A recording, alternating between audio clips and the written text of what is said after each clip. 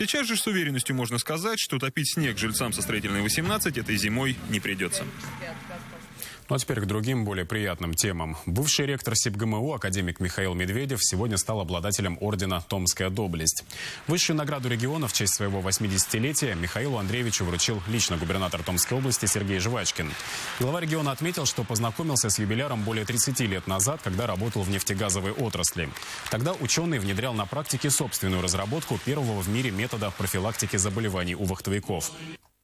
И очень приятно, когда видели вот ту заботу и те разработки, которые до сих пор, кстати, пользуются сегодня нефтяники, газовики и лесная отрасль, и многие другие. Поэтому я, как бывший вахтовик, тоже могу не как губернатор сказать вам огромное, конечно, спасибо. Служу любимому Томской области и городу Томску и обязуюсь увеличить продолжительность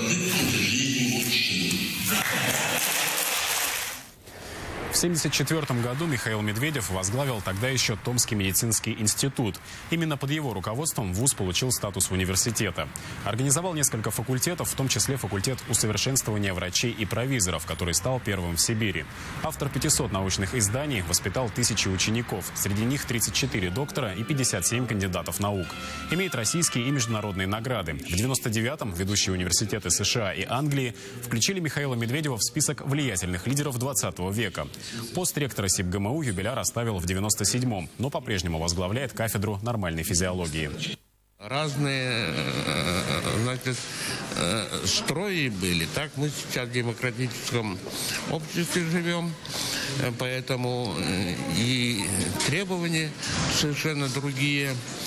Но и в то время, и сейчас университет всегда был на высоте. Квесты, мастер-классы по медиа-менеджменту и совместная